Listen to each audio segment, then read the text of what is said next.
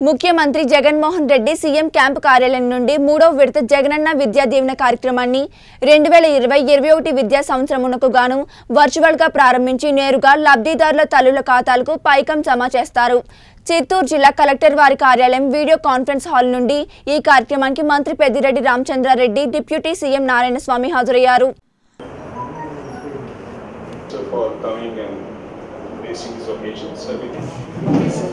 So sir.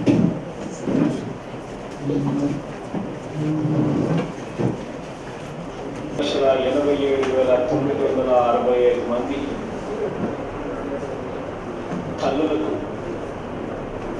వారి తల్లులకు పదకొండు లక్షల మూడు వేల మంది పిల్లలకు మంచి జరిగేలా ఆ పిల్లల తల్లులకు తొమ్మిది లక్షల ఎనభై ఏడు వేల తొమ్మిది వందల అరవై ఐదు మంది.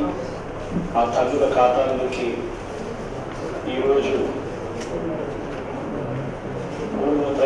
త్రైమాసికానికి సంబంధించి త్రైమాసికం అయిన వెంటనే ఆ ఫీజు నేరుగా తల్లుల ఖాతాల్లోకి జమ చేస్తూ ఉన్నాము.